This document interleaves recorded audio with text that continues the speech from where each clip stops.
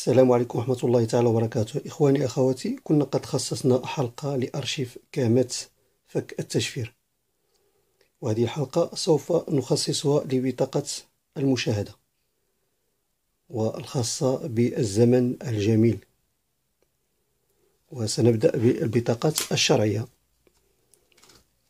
وهنا البطاقات الخاصة بالباقات الفرنسية كبطاقة ال TNT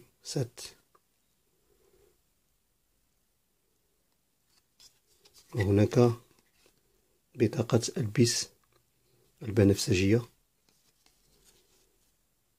التي كانت وأعتقد ما زالت تفك التشفير على آه، ال Hotbird وكذلك على آه، قمر Telecom. وهنا بطاقة ال BIS البيضاء. هنا كذلك بطاقة Canal Plus Canal Sat وهي البطاقة من أوائل البطاقات الخاصة بفك تشفير قنوات Canal Plus الفرنسية. وكذلك هناك Canal Plus التي تفك التي كانت تفك تشفير القنوات الموجودة على عرب سات كانت هناك باقة خاصة بمنطقة شمال أفريقيا. كانت تبث على العرب سات وهناك آه، بطاقة كانال ريدي. وهي كذلك تابعة ل كانال بلوس. وهنا كذلك بطاقة أخرى الخاصة بالباقة التي كانت تبث على العربسات وهي كارت بريستيج. كان اشتراكها يدوم 12 شهر.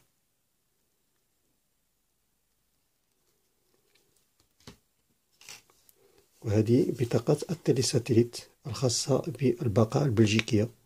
كانت تبث على الهوتبرد بعد ذلك. أصبحت تبث على الأسترا.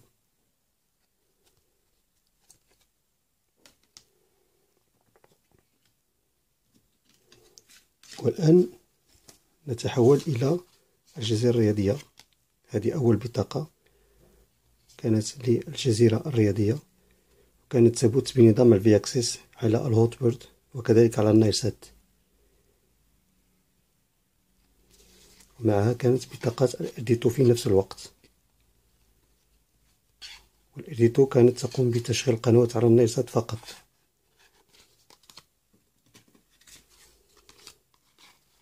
وتزامنت هذه البطاقات كذلك مع كامات الجزيرة الرياضية قبل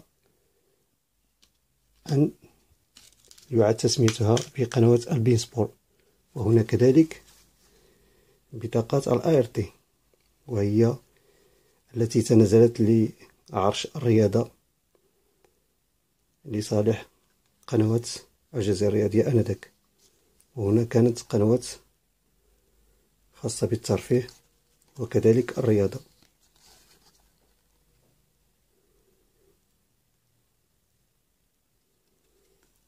وبعض باقات الترفيه لا زالت شغالة إلى يومنا هذا ببطاقات جديدة.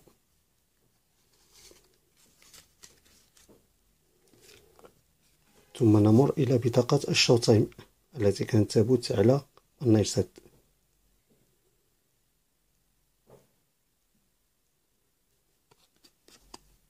وهي بنظام الإرديتو تضم قنوات رياضية وقنوات للترفيه وتعتمد في غالب منتجاتها على المنتجات الأمريكية.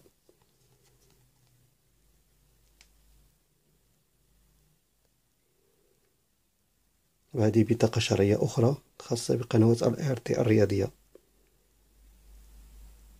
ونمر إلى بطاقات القرصنة. وكان يتربع على عرشها بطاقة الفانكارت. كانت فيها أنواع. فانكارت أربعة والفان ستة أوبن بلاتفورم. كذلك بطاقة صاحبة النقطة الحمراء. وكلها كانت تفك معظم التشفيرات. منها الفي أكسس والارديتو والفياكسيس بجميع أنواعه. الأول والثاني. كذلك الثالث.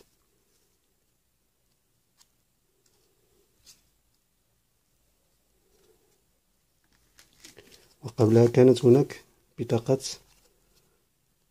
ال silver آه، بطاقة ال gold الذهبية التي كانت تشغل مع آه، كامات الفياكسيس أو كانت تشغل على الأجهزة مباشرة. هذه أنواع من البطاقات الذهبية.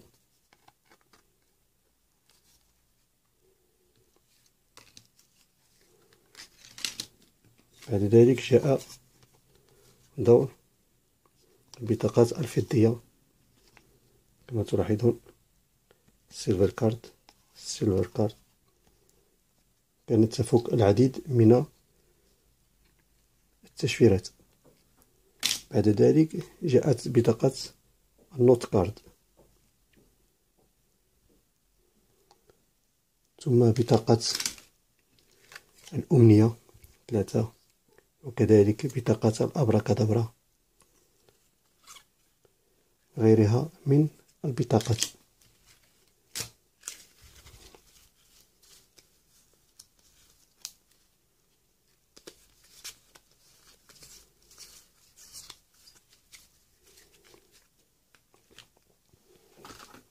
ومعظم هذه البطاقات كانت تبرمج بهذه المبرمجة ال Infinity USB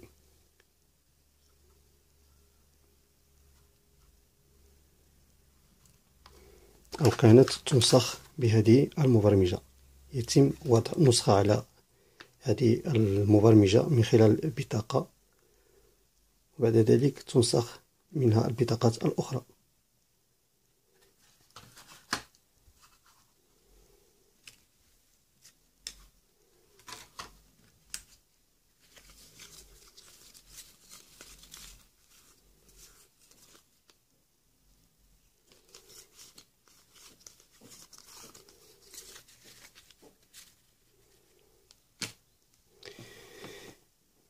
إخواني بهذا ننهي هذه الحلقة بعدما عشنا معكم لحظات من أجمل اللحظات في عالم التشفير وفكه.